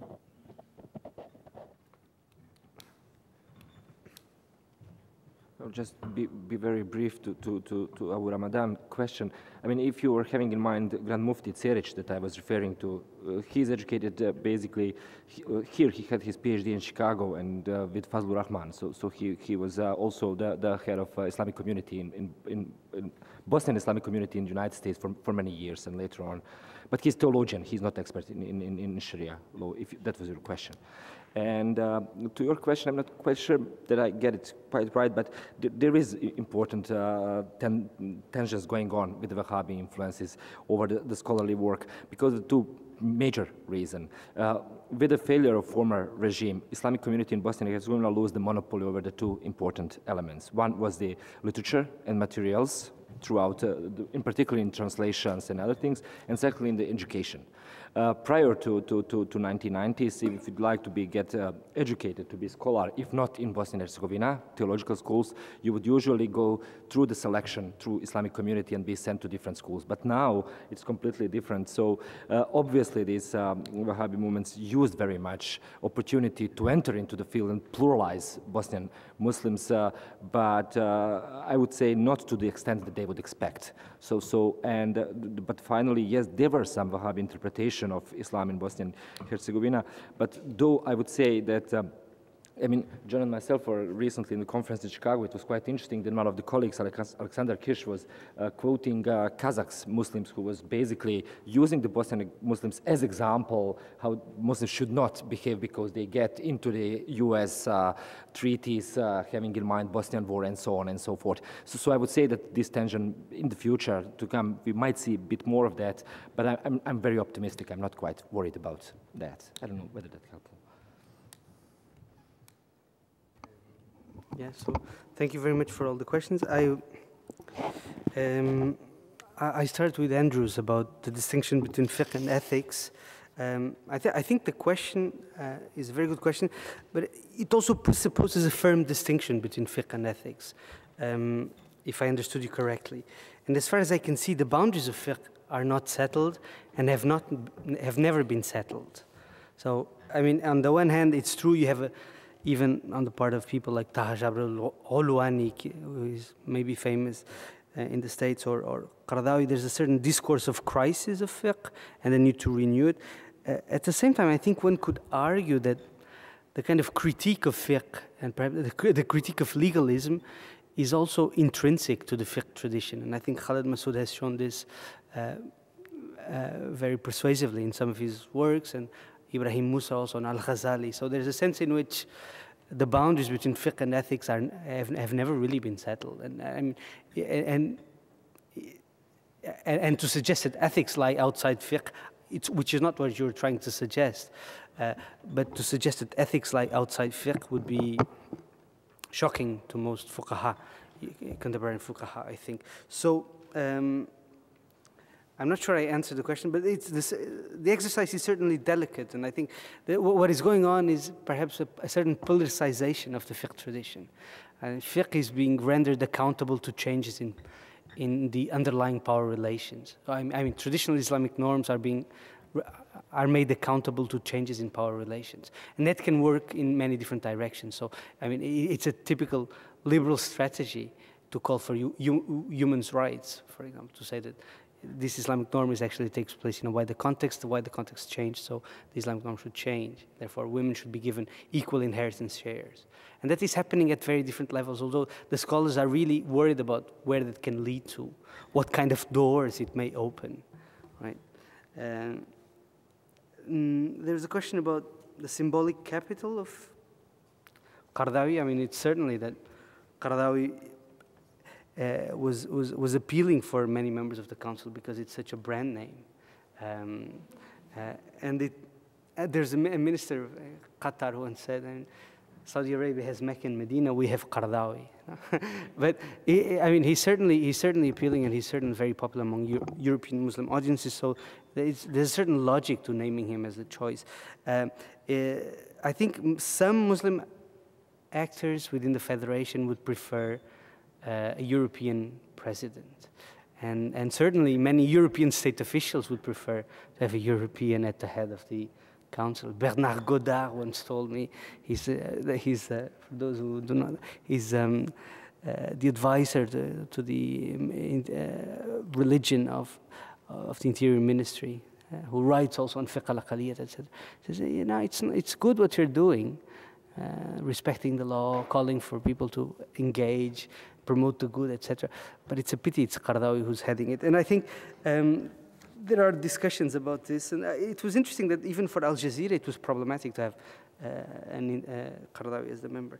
Um, Qaradawi in the US, I mean, he's persona non grata. And I think increasingly in Europe also, because of a certain, uh, uh, a certain way in which his distinction between um, condemnation of terrorism and support for kamikaze operations in Palestine has become unintelligible for uh, Western policymakers after 9-11. Um, so, uh, which does not mean that the US government does not engage Qaradawi on other fronts or other Western governments. Uh, so you could find uh, some of the fatwas of Qaradawi posted on the uh, official websites of em American embassies in the Muslim world. Um, and, and they still engage him formally or informally on a variety of settings. Uh, uh, John answered already partly the question about scholars grown in Europe. I think the institution I was talking about, most of the scholars are actually based in Europe, but they were educated elsewhere. There's one native German, he was a convert, Muhammad Sadiq, and then there was Mustafa Ceric, who was Bosnian, of course. Uh, at one point, there was the Albanian and the Bulgarian muftis who were part of the council, but they did not attend, and have been removed. So I think uh, perhaps the, the younger generation of European fuqaha is less visible than in the States. Uh, I think for many, uh, for some of the reasons that John mentioned, many of the um, many of the younger generation, actually, even those who are affiliated to political Islamic organizations, find the kinds of fiqh discourse that the ECFR is engaged in completely unintelligible. So there's a kind of generational clash also. Why are you answering questions about whether a woman has a right to cut her hair without the permission of the husband? Why are you uh, asking questions about um, the right of women to divorce when the courts grant them the right to divorce, etc., etc. So uh, that's all. Thanks. We have another set of questions. Still a question to Alexandre. A question a bit related to uh, uh, Andrew's question, though I would say a little bit more uh, co concrete in, in a sense.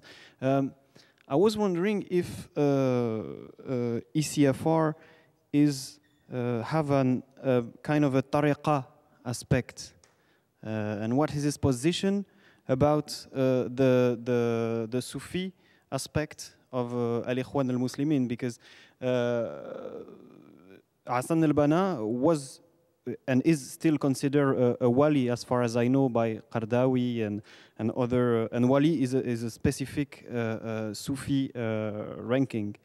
So um, when he launched, for instance, Muslim Brotherhood, he clearly said, "Nahnu aqiqa Sufiya." So I wanted to know uh, what about the, this, this uh, patrimony uh, of Ikhwan al-Muslimin uh, inside ECFR.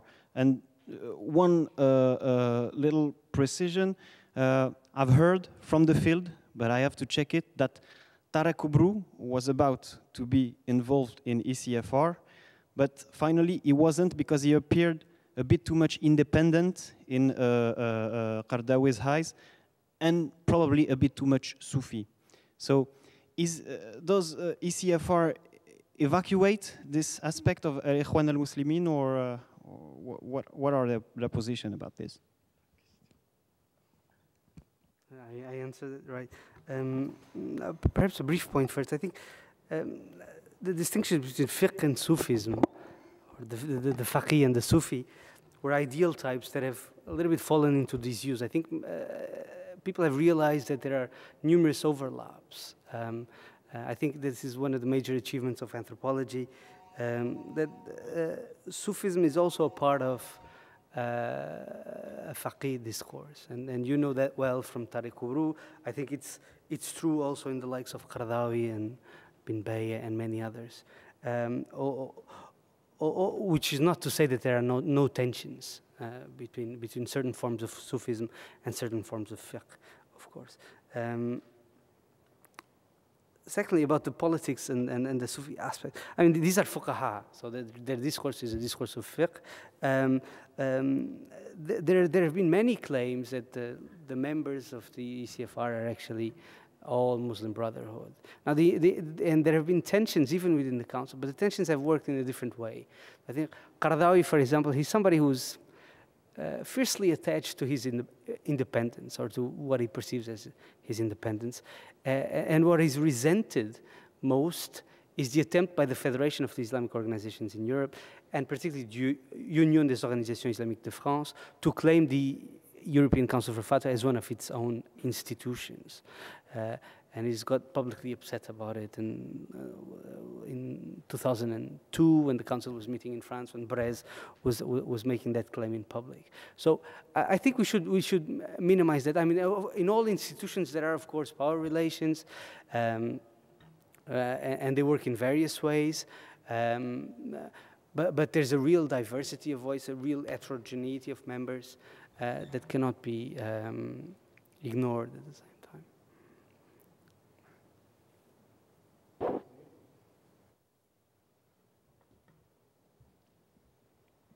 I'm not sure this is the uh, appropriate place to intervene, but uh, my question is uh, a general comment and maybe observation about this panel versus uh, other panels we've had throughout the conference.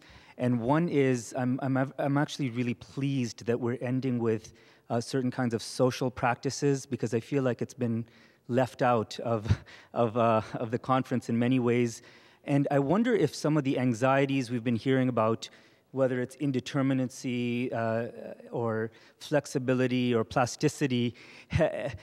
I wonder if these problems uh, have come to the fore because we've actually uh, focused so much on a legal framework, and we've also focused uh, on understanding norms through uh, uh, restricting ourselves through un understanding these things through the state.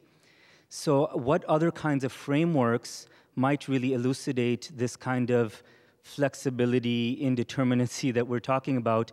And what I would suggest, and you know, it's my bias as an anthropologist, really, is that we, uh, uh, some of what is confining us in terms of pushing the boundaries on what is secular and what is religious is because we've restricted ourselves uh, with legal frameworks and we've re restricted ourselves to the state.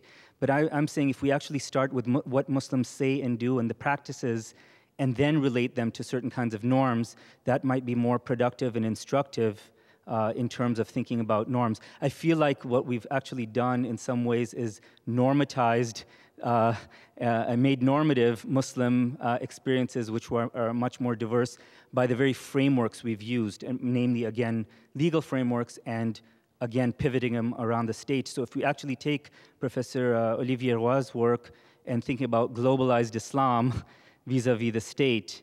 Um, I think that that might be uh, so. It's a it's a suggestion both in terms of if you want to respond in terms of your panel specifically talking about certain kinds of practices vis-a-vis some of the more theoretical uh, uh, frameworks. And the other point is just about you know, and that actually pushes us to think about things like how do we understand uh, Muslim minorities who are actually global majorities? Is that the anxiety of the liberal state? you know, because you, in fact, you can't place Muslim, uh, Muslims within the boundaries of the nation state anymore. Uh, and so that, I think those kinds of relationships might, might be helpful in, in terms of what we're, the larger question that we might be trying to address in terms of uh, Islamic norms. Anyone? Any other questions? I think we have about 10 minutes. Maybe we could Well, you, you asked a methodological question, I think. Um, and I, we'd all have to have time to think about, you know, precisely what the import is. But um, I'm just thinking of something that Alexandre and I both written about uh, the, the riba fatwa of, of, the, of the council and Qaradawi from different perspectives. I mean, one of the, one of the great opportunities that, that uh, this sort of field uh, that we're defining over these two days opens up is, um, you know, uh, by focusing on a, a relatively narrow set of issues, uh, we, we make more explicit um, how we can collaborate across disciplines, right? So Alexandre's developed uh, uh, an, an, analysis, a very fine analysis from within of the council and, and, and, of, and of IFTA as an institution. That's what his emphasis has been, that this is an important and adapting Islamic institution that's part of a long history, if I understand your overall um, uh, uh, weight uh, correctly. And that's extremely valuable for someone like me then, who is, as an anthropologist, more focused on um, social practices within particular institutions and all their messiness and all their um, uh, you, you, know, complicated drawing on all sorts of norms to affect a particular outcome.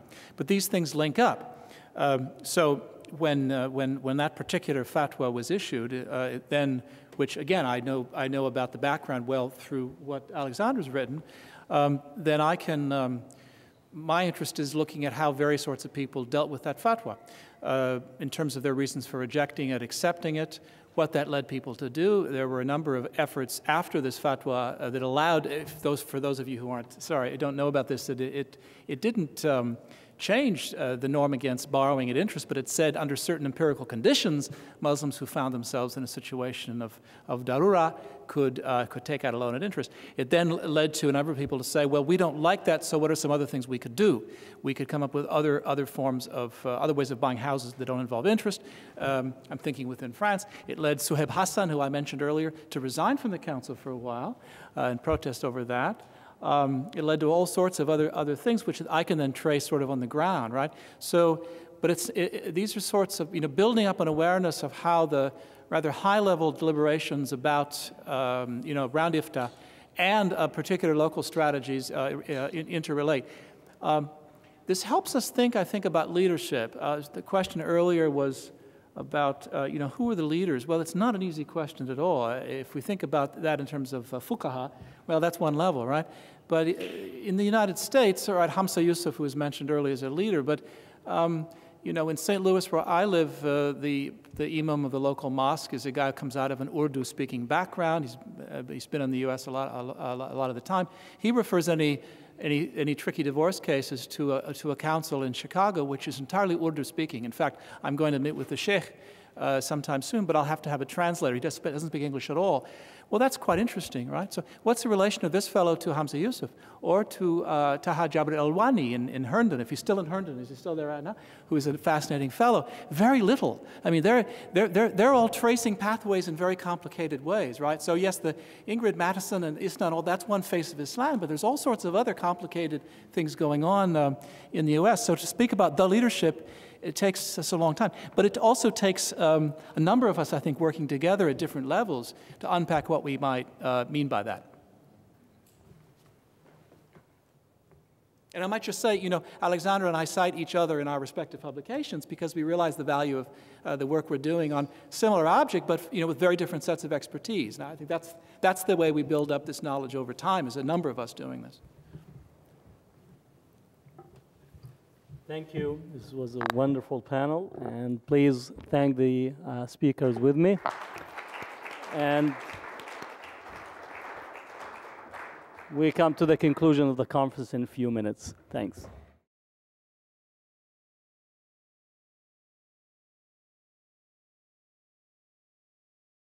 Yeah, I will not uh, summarize the, uh, the conference because it was uh, too rich and too diverse, you know, to be just uh, put in a, a, a, short sum up. Um, I will uh, just highlight some uh, points and possibly some conclusions. Uh, first, about this conference.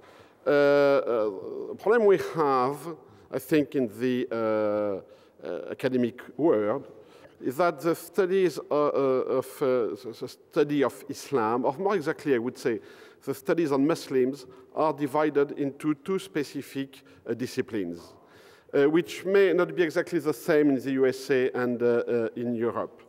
But so we have sociology. In the USA, it's mainly sociology of minorities.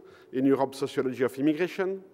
Uh, we have political science, of course, which tend more and more to uh, blur uh, with sociology, by the way.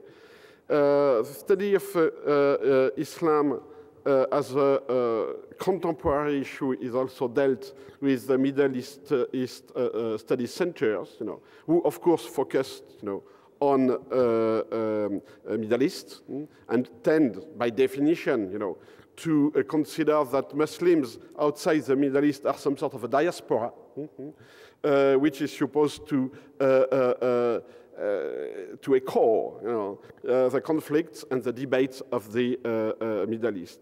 And then we have scholars on Islamic law, which who until recently used to work you know, more in some sort of historical framework, you know, uh, uh, uh,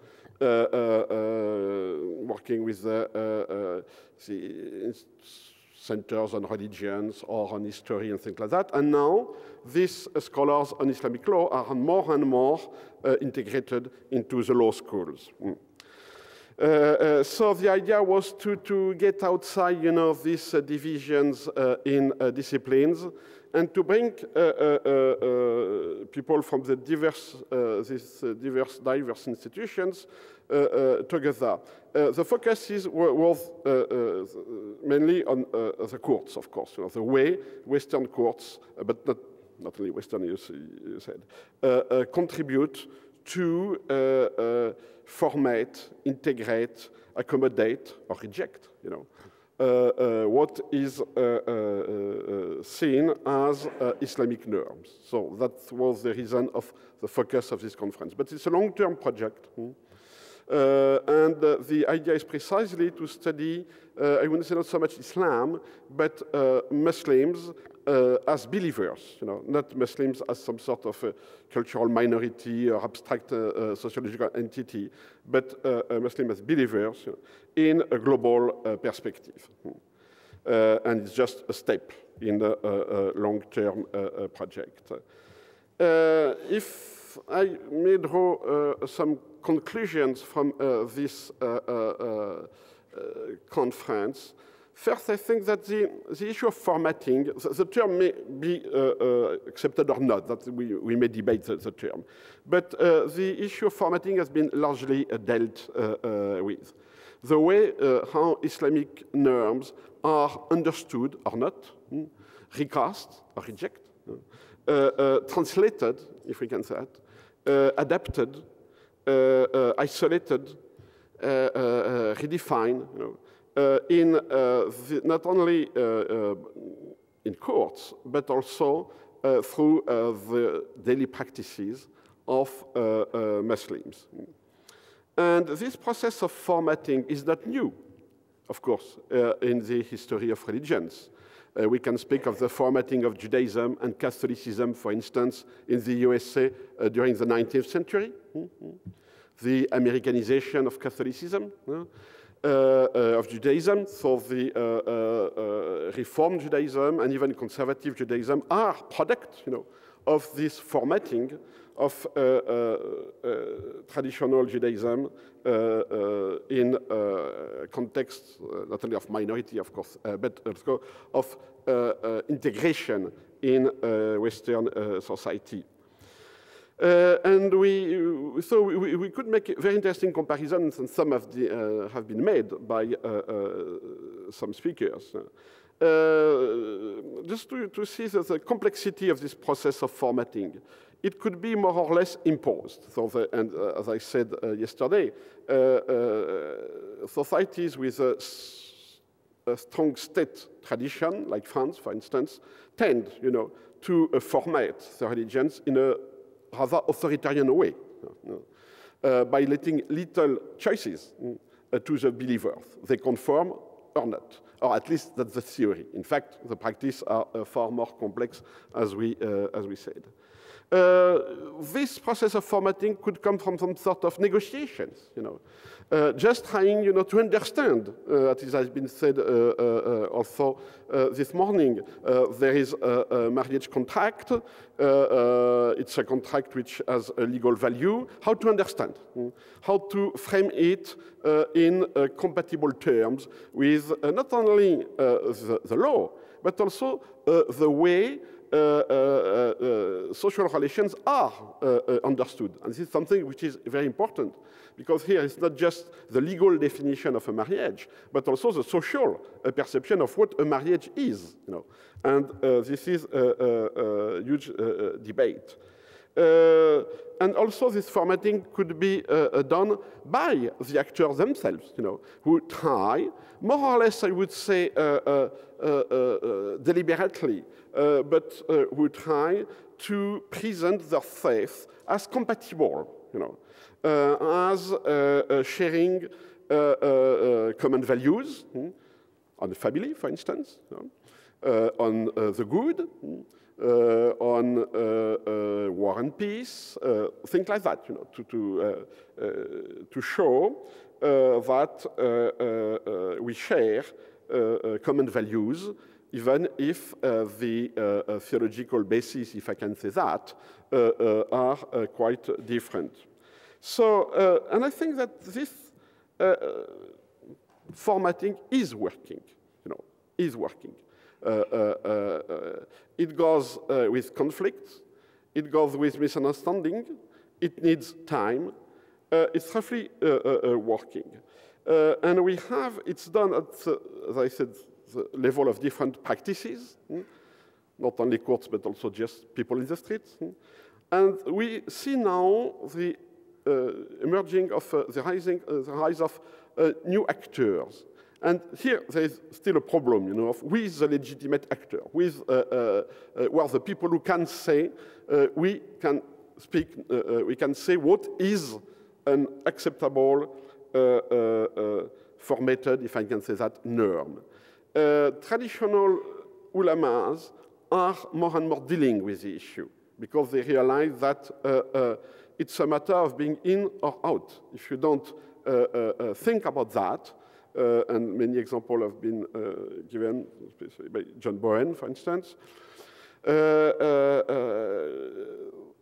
but the, uh, the, problem of the uh, traditional ulama is uh, that they have, I would say, problem of a, Uh, uh, terminology, of how to uh, shift from a traditional Islamic scholar terminology to an understandable uh, terminology, terminology which can be used by uh, uh, a judge uh, in a Western court, for instance. You not just used, but understood. You know. Mm. And here we have the issue of the, the translators, if I can say that, the go-between. You know, more and more. Uh, uh, so we have the, the, the well-known figure of the, the, expert. You know, and uh, as it has been said, uh, there is a lot of money to do uh, in that. You know, there is a market for expertise, which had some negative also side effect, you know, because to be an expert is more and more an occupation in itself. and you speak uh, as an expert, uh, this means that you speak at somebody who has to deliver uh, a practical, a receipt, you know, a solution to a given problem. Uh, so we have traditional ulamas who uh, now more and more come to the West, uh, uh try to speak to the West, but cannot, for example, speak on the TV. Uh, uh, if you, Sheikh Qaradawi would probably not, well, will not do well on CNN. Uh, uh, it depends, of course, on uh, from which perspective you say doing well. You know, from his own perspective, maybe. You know, but the it will certainly not be perceived by the majority of the listeners as a, a, a positive approach to integration. Mm -hmm. Although it is. Mm -hmm. Uh, uh, so we have also self-appointed intellectuals mm -hmm. uh, who tend to present themselves as reformers of Islam. Mm-hmm. And of course, they are, uh, they are often given, uh, uh, uh well, uh, uh, sta the stage, if I can say that, because for different reasons, many people in the West are convinced that the formatting process could be done only if there is a theological reformation of Islam, which I don't believe, but that's another story. Mm. So we have new actors. We have uh, more and more new species, you know, and I think for the GTU here, the Zaytuna, uh, uh, we have new institutions now uh, where uh, thinking, you know, uh, uh is uh, taking place by, uh, I would say, looking on both sides of this formatting, both sides of this formatting process. but, but formatting does not always work. And here, uh, I go back to the uh, discussion with Peter Danchin, uh, uh with uh, Weinstock on um, uh, the liberal state. I think that the, the problem is the exception. But roughly speaking, it works, you know. even if we, of course, tend to focus to uh, uh, the, the, uh, the, problems. take the example of the Danish cartoons, for instance. too often, we, the media, for instance, tend to say that there was, there was a huge uproar and demonstration in the Muslim world. The Muslims did demonstrate. Hmm. Where? Hmm. In Paris. Hmm? We had 700 you know, Muslim demonstrators against the Danish cartoons, and they didn't burn one car. So, nothing, absolutely nothing. Uh, the most, I would say, uh, uh, uh tough demonstration was in London, as usual. Hmm? Uh, but uh, almost nothing did happen in, in the West against the uh, uh, uh, Danish cartoons. The demonstration took place for different reasons in Gaza Strip, in Damascus, in Morocco, and in Pakistan, as always, as usual. So we have always the two poles of radicalization, London and Islamabad. Well, the suburbs of Islamabad. Uh, uh, so uh, we have this, you know, there was no an uprising of the Muslim world, you know, uh, in favor of a fatwa to kill uh, the, uh, uh, uh the guys who uh, drew uh, the uh, cartoons. Hmm. So we have also this self-working narrative of the clash of the Muslim world, which in fact is not just supported by facts. Hmm. but still, there are people who don't play Uh, uh, along the rules. And here we have the predicament of the liberal state, which uh, what do we do, you know, uh, when autonomy conflicts with freedom and freedom of speech conflicts with freedom of religion. So when we have this conflict of rights. And there is something interesting because it's often presented as inherent, you know, as an inherent problem in any liberal state. But if we look, for instance, at the uh, First Amendment uh, of the US uh, uh, Constitution, we can see that all these con conflicting rights are presented, in fact, as the same thing. You know? Uh, Congress shall make no law respecting an establishment of religion or prohibiting the free exercise thereof. Which means, and if you look now at the uh, uh, cases in courts, usually when you have a, conflict involving religion, mm -hmm, one of the sides will uh, uh, uh, claim for separation of church and state, and the other side will claim, uh, will base its claim on freedom of religion. So in many court cases, freedom of religion and the clause of non-establishment are presenting as comp in competition, concurring against each, each other. But obviously, I am not an expert uh, in his, uh, US history, in constitutional law, and things like that. But for me, you know, it was obvious that for the founding fathers, there was no contradiction. If there were a contradiction, they would not, not have put, you know, the two principles in the same sentence. So what went wrong? How is it that something which was not seen as a problem uh, uh, uh, at that time is seen as a problem? And I think that the issue is not that the state ha has changed, is it is religion which has uh, uh, changed. Uh, there is, uh, as I said yesterday, uh, religion, or at least, I will not say religion as such, but believers, faithful people, you know, are seen as disrupting the social cohesion. Faith is seen, not religion as such, uh, faith is seen, obvious faith, faith is seen as disruptive. And it's an argument which is often used, you know, about the scarf affair, for instance, you know, uh, uh, uh, or about the eruv, uh, the uh, thread, you know, in Montreal around uh, Lubavitch neighborhood, to make this neighborhood well, some sort of a home, you know, for the Shabbat. the argument of the religious people is why do you care? And it was exactly the debate uh, uh, yesterday. Why do you care? And the atheist or the non-believers or just the other guy say, I do care. You know, uh, uh your religious beliefs are some sort of an, uh, a problem for me. Uh, and that, that's new. That's new. So what, is, uh, uh, what does it mean? It means that now religion is seen uh, as outside the social bound. That religion is not seen as part of the social cohesion. But it doesn't necessarily mean that uh, uh, this or that religion is more of a problem. But what we can see, if we look at uh, which religions are we referring to, we are looking at different forms of religion. Uh, uh, the First Amendment of the Constitution didn't make problem for uh, uh, uh Lutheran, Episcopalians, Methodists. Uh, it does make problem for evangelicalists, and especially some brand of uh, born again evangelicalists. They have a problem, and they say it, by the way. They have a problem with the separation of church and state, uh, which was not the case for the founding fathers. We would have known if they had a problem uh, uh with that. Uh, so the religions which are making problems now are not religions as such, they are forms of religion. Uh, it's the Salafi version of Islam, for instance, or the Wahhabi, call it as you, as you want. Uh, it's Lubavitch uh, uh, uh, uh for the uh, conservative Jews. It's evangelicalism or Pentecostalism, or it's the, the, the cults, you know, Jehovah Witnesses and so. on.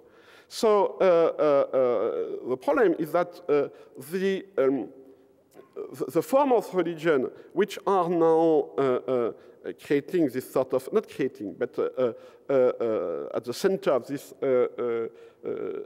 anxiety, I would say, about the social bond, are not traditional forms of religion. Mm. Which means, and it brings me to my last point, that it's a deculturation of religion uh, the loss of the uh, social and cultural evidence of religion, which has a, a disruptive effect. And my last point uh, uh, about that is that in this sense, there is no difference between Western Islam and some sort of uh, traditional Islam or Islam in traditional Muslim societies. This phenomena of the deculturation of religion is taking place everywhere. and here I'm not referring as well, I would say uh, what uh, we could call uh, occasional uh, uh, uh practitioners, people who used to go sometime uh, to the mosque or the church or synagogue. No, I'm referring to born again and converts. the, the forms of religions which make problems now are these forms of religions, are born again and converts, who explicitly put into question the evidence of the uh, social bond, and who consider that the surrounding culture is not religious.